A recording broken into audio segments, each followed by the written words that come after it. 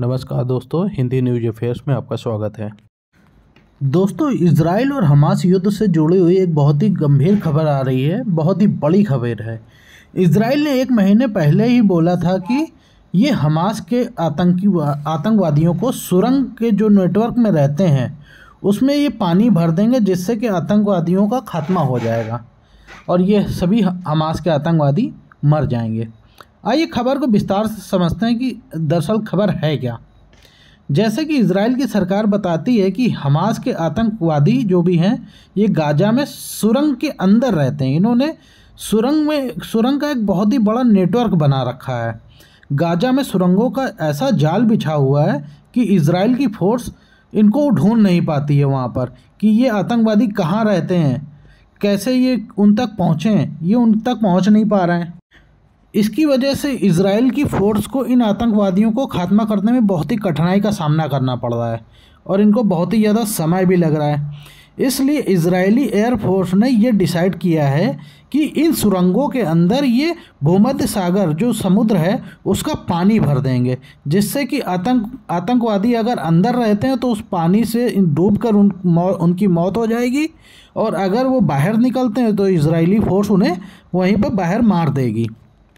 तो Israeli force ने वही पानी भरना शुरू कर दिया है।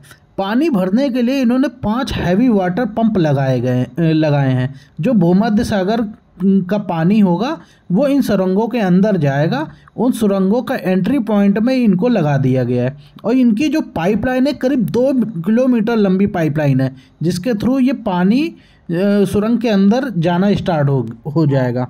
साथ ही साथ ये भी बता दें कि इन सुरंगों को बनाने में करीब 6000 टन कंक्रीट लगी है और 1800 टन स्टील का इस्तेमाल हुआ है। तो इससे आप अंदाज़ा ये लगा सकते हैं कि ये कितनी ज़्यादा बड़ी सुरंगें हैं और कितनी मज़बूत भी होंगी। साथ ही साथ ये भी देखना पड़ेगा कि इसका असर गाजा के लोगों पर क्या पड़ता है, क्योंकि इससे अंडरग्राउंड वाटर पे भी फ़र्क पड़ेगा साथ ही साथ वहाँ पे सीवेज सिस्टम पर भी इसका असर देखने को कुछ ना कुछ तो आएगा ही। साथ ही साथ एक और भी खबर है इसी में, क्योंकि जब एक महीने पहले इसराइल ने यह धमकी दी थी कि ये सुरंगों के अंदर पानी भर देंगे तब रूस का इस पर बहुत ही बड़ा रिएक्शन आया था। तब रूस ने इसराइल को मना किया था कि वो ऐसा बिल्कुल भी ना करें नहीं तो एक गंभीर परिणाम भुगतने पड़ेंगे।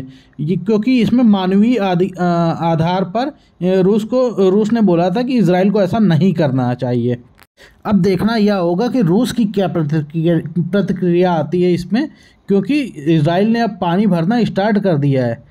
तो ये बहुत ही दिलचस्प होगा कि अब क्या होता है। दोस्तों, इससे जुड़ी हुई कोई और जो अपडेटेड न्यूज़ आएगी मैं आपके लिए अपडेटेड वीडियो वीडियो लेकर आ जाऊँगा। धन्यवाद।